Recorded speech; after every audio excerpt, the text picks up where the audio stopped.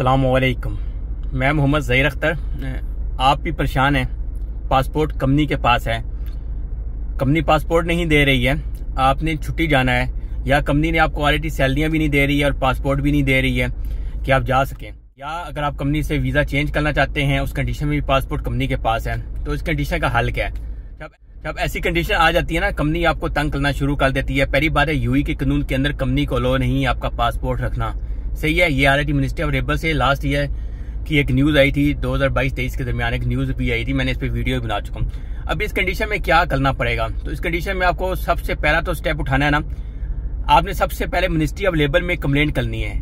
अक्सर लोग यहाँ पे एक मिस्टेक करते हैं, वो डायरेक्ट जाके कोर्ट में इसके लिए अपील डाल देते हैं कि पासपोर्ट रिकवरी के लिए। कभी भी आपने डायरेक्ट नहीं जाना है, सबसे पहले आपने क्या करना है, आपने ministry of labour eight double zero eight four number है, मिनिस्ट्री ऑफ़ लेबर का, उस पर आपने कॉल करनी है। उनको बताना है कि ये मसला है, कंपनी हमें सैलरी नहीं दे रही है, तंग कर रही है, हमें अंडर प्रेशर कर रही है। ये आपने सब उनको चीज़ें बतानी है। उसके बाद जब आपकी कंप्लेंट इंटर हो जाती है, उसके बाद फिर आपने कोर्ट में कंप्लेंट करनी है कि मेरा पासपोर्ट कंपनी के पास है। और एक और चीज़, कोशिश ये क्या करें कि है तो मुश्किल काम, नई कंपनियाँ हमारे करते हैं, लेकिन मैं आपको चीज़ बताता हूँ आप किसी कंपनी को पासपोर्ट उनको भाई पेपर भी लिख के दे दे कि पासपोर्ट उन्हें रिसीव किया हुआ है। तो जब आप कंप्लेंट निकाल देते हैं तो अक्सर बेस्टर कंपनी वाले क्या कहते हैं, जी पासपोर्ट तो हमारे पास है नहीं, इस हमें पासपोर्ट दिया ही नहीं। वो चाह से मुकर जाते हैं क्योंकि पता है क्या हम एग्री करेंगे हाँ करेंगे ना, कि पासपोर्ट हमारे पास है तो हम फंस जाएँगे।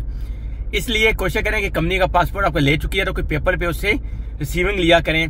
लेते टाइम भी और देते टाइम भी कि पासपोर्ट आपका है। पासपोर्ट और इमर रेडी आपकी अपनी चीज़ है, ये दोनों चीज़ें आपके पास होनी चाहिए।